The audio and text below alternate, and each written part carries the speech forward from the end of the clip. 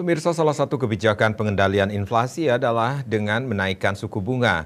Namun ini menjadi dilema yang cukup hebat sebab pengusaha akan makin merana dan resesi akan menjelma akibat tertahannya pertumbuhan ekonomi.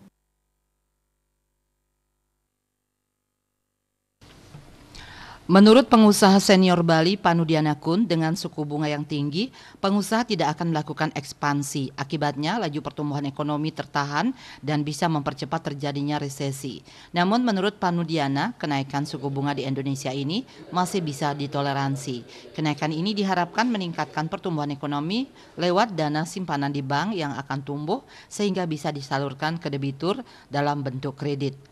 Diakuinya dana yang dipinjam di perbankan akan menjadi lebih mahal, namun menurutnya peningkatannya tidak terlalu tinggi. Menurutnya saat ini kunjungan wisata baru pulih 60 persen, sehingga ekspansi pun tidak urgent dilakukan.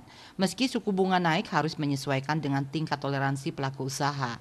Tingkat inflasi kurang lebih 5,5 persen per tahun, sehingga suku bunga 3,75 persen menurutnya masih terjangkau. Terpisah regional CEO BRI dan Pasar Rudi Andimono mengungkapkan di Bali Nusra khususnya pada Agustus terjadi peningkatan penyaluran kur hingga tembus 9,5 triliun rupiah. Sebanyak 241.044 orang masyarakat di Bali, NTB dan NTT telah menikmati kur dan didominasi sektor produktif.